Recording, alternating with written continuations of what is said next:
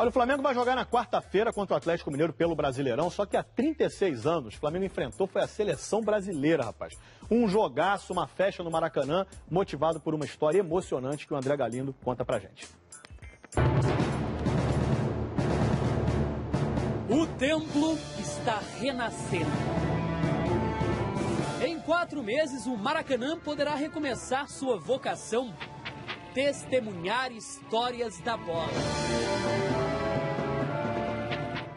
Arquibancada, concreto, ferragens, cadeiras, gramado, tudo será novo. Do passado, Copa, milésimo, gols, títulos, memórias que nunca vão virar pó. Final de jogo, final de campeonato. Impossível apagar aquele outubro de 1976. O encontro entre o time mais popular do país e a seleção mais vitoriosa do mundo. Um jogo motivado por lágrimas. Uma partida que a gente não gostaria de ter feito, não. Que a gente não gostaria de ter feito. Contagem. Um, dois, um. Progressiva para um time histórico. Era o começo de uma geração de garotos. Todos nós éramos da mesma faixa etária. A geração de Zico, que aos 23 anos ia renovar contrato com o clube. Já está tudo resolvido. Um assino hoje às 6 horas. E tudo bem.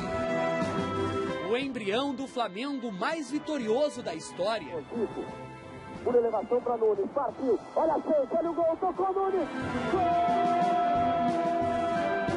A gente culminar com Libertadores, Mundial, sequência de brasileiro em 82, 83. Pé direito, bateu,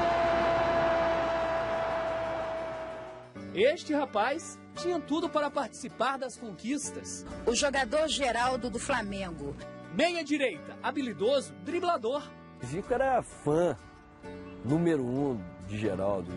Quando os dois tinham uma sintonia dentro do campo, uma coisa fabulosa. No cabelinho dele, enrolando e assobiando, né? Cabeça erguida, postura de estilosa. Aos 22 anos, já havia feito sete jogos pela seleção brasileira.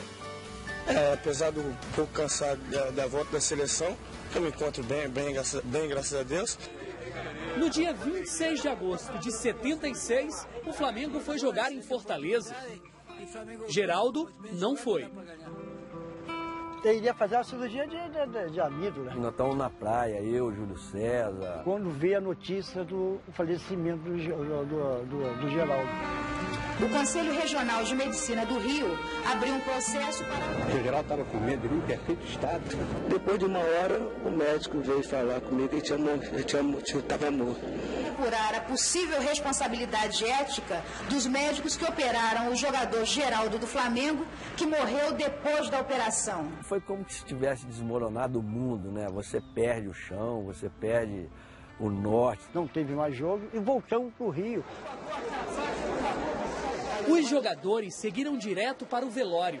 A morte de Geraldo causou comoção. Foi uma perda muito grande para todos nós, né? Da tristeza veio a solidariedade. Arrecadar dinheiro para a família de Geraldo. Um amistoso, um encontro especial. No Maracanã, o presidente Geisel, acompanhado do governador Faria Lima, chega à tribuna de honra, onde se encontram outras autoridades, civis e militares, para assistir ao jogo entre a seleção brasileira e o Flamengo. Zico entrou emocionado. Nós entramos e aquele Maracanã veio abaixo. 150 mil torcedores aproximadamente. Era o fato de estar jogando com os campeões mundiais, né? Estar de frente com os caras, do lado dos caras. A seleção tem vários dos campeões do mundo de 1970. Pelé já atuava no Cosmos e veio dos Estados Unidos apenas para a partida. E jogar contra o Pelé no Maracanã, tu imagina a alegria desses, dessa garotada. Nós queríamos ganhar da seleção. Conseguiram. Paulinho fez o primeiro.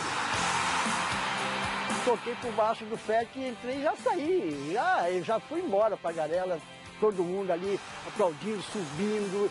E a, a, a, geral, quando eu cheguei na geral ali, a geral mais lotada que eu olhei, meu Deus, o que, que eu fiz?